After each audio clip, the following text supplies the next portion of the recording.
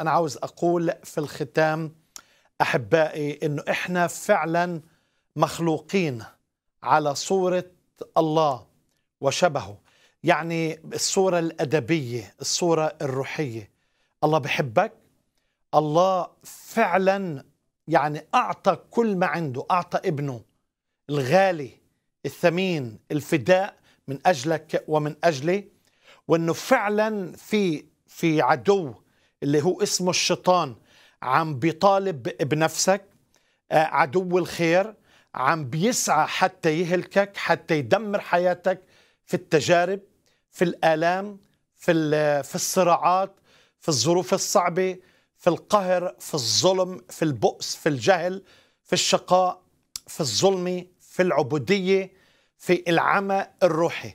بتعرف حبائي المعرفة الكتابية بتقودنا إلى يسوع المسيح.